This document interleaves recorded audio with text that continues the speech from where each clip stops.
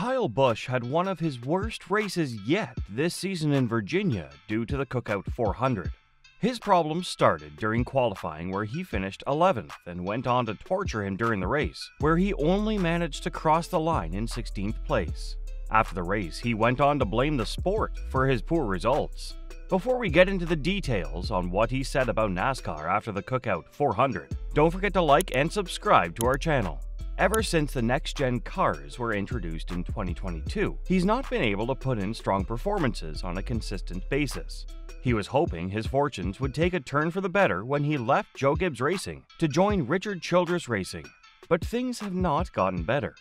In the past, he's been critical of the Gen 7 cars. He also feels that his team is not able to get the right setup in these new generation cars. He has said, The problem starts at the front of the car the splitter, and the way the air is, and everything that we all do on setup stuff to make these things rely on the air as much as they do.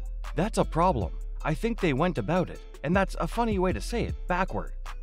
We don't blow the tires off enough. I think that's what we're all kind of talking about.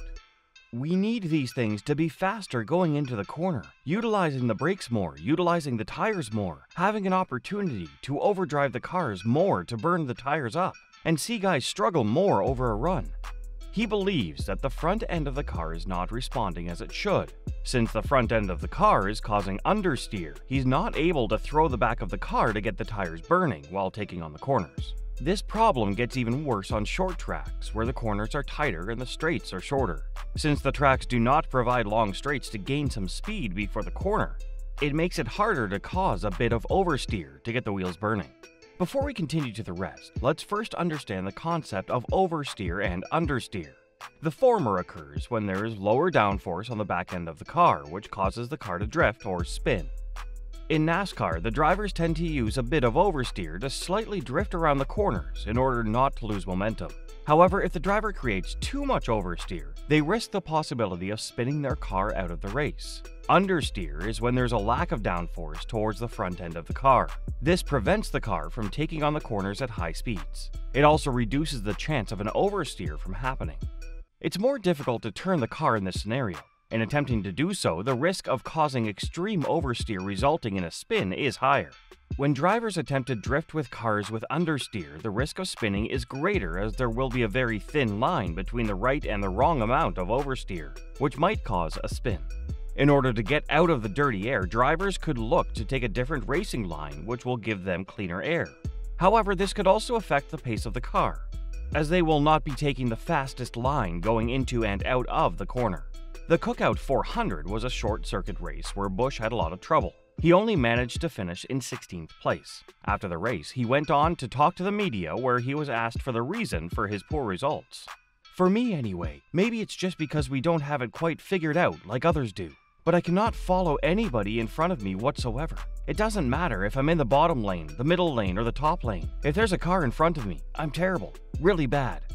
I will say the only positive to it is that you can slide the back of the car around a little bit more and not crash, but the front ends are just ungodly not working. As expected, his cornering problems were even worse in Martinsville, but since the corners were tighter, he was able to cause a bit more of an oversteer with minimal risk. He was able to turn the car more when compared to the long circuit races where the turns were wider. However, due to the difficulty in doing so, he was not able to deliver a good result. After this, he was asked what NASCAR could do to fix this issue. To this, he had no hope that the sport would do anything to make the cars better. It doesn't matter because they are not going to do it, so it don't matter. I'm not going to paint myself in a bad spot to get in trouble. The Gen 7 cars were designed to generate more downforce. NASCAR is now aiming to increase the number of street races on the calendar due to the success of the street race in Chicago. In order for the cars to take on these street races, they require more downforce. In doing so, they had to make the car more aerodynamically sensitive. This creates a new problem of turbulent air. Every car that uses a fuel-based engine releases some turbulent air, which is basically the dirty air from the exhaust. This air creates a lot of turbulence to the car behind. This effect may not affect the cars with lower downforce or lower speeds. Since NASCAR is making the car more aerodynamically sensitive, this problem could affect the pace of the cars. For example, if car A is following car B, the latter will produce dirty air, which will be blown on car A. As a result, car A will face a lot of vibration and lesser downforce, which will make it difficult to control the car. From what Kyle Busch described, it seemed as though he's facing this issue. This problem can be rectified with some setup changes, but the driving style of the driver will also have to change accordingly. This could be challenging for Busch, as he has been accustomed to his unique style of driving for decades. Following the race in Martinsville, he went on to talk about the issues with the car.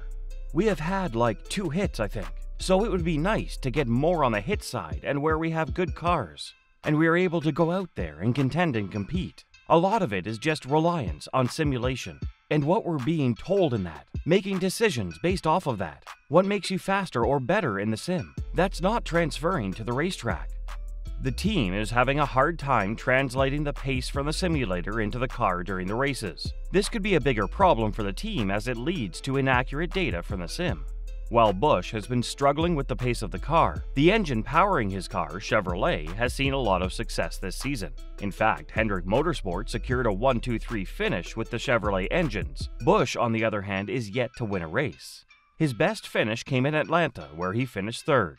He was not able to repeat this performance in any of the other races. RCR uses Chevrolet engines for their NASCAR races. This engine has proven to be powerful as they're leading the manufacturer's championship. Hence, Busch's problem lies with the car or his driving style. Whatever it is, he and his crew will need to come up with a solution quickly, otherwise Busch's future will be at risk. Busch is currently 38 years old, but will want to race in NASCAR for a few more years. Before the start of the 2024 season, he extended his contract with RCR for one year. This contract is set to expire after this season. If he wants to continue racing in this sport, he will need to start delivering results. Otherwise, none of the teams may consider him to be an asset. In order to start delivering better results, Busch will have to make a change in his driving style to accommodate the Gen 7 cars. It is unlikely that NASCAR will reduce the downforce in these cars. They want the cars to be more agreeable to tight corners to accommodate street circuits. If Busch is not able to deliver consistent performances, this could be the last season of his career. There are still 18 races remaining on the regular season. Busch's sole focus will be on winning a race before the playoffs start. Or else he will not be eligible for the fight for the championship. With a lot of drivers and teams performing well with the Chevrolet engine, it's not looking good for the veteran driver till now. Do you think Kyle Busch will be able to turn his season around and qualify for the playoffs? Post your thoughts in the comments section below.